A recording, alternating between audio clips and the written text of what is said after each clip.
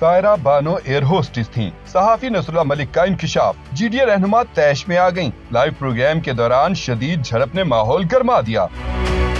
सायरा बानो ने नसरुल्ला मलिक को नाम नेहाद सहाफी और बदतमीज करार दे दिया।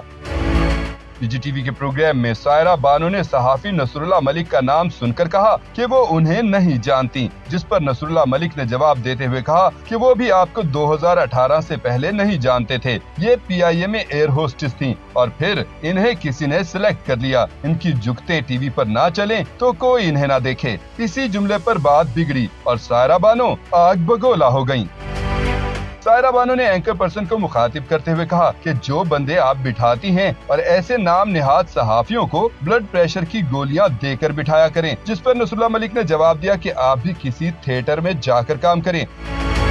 एंकर पर्सन पारिस जहाँ जेब दोनों में झगड़ा खत्म कराने की कोशिश करती रहीं, लेकिन बेसूद रहा। सायरा बानो ने कहा कि आपको जिस काम के लिए बुलाया वो करें। थोड़ी तमीज से बात करें। अगर तमीज से बात करनी नहीं आती तो इन्हें प्रोग्राम में ना बुलाया करें।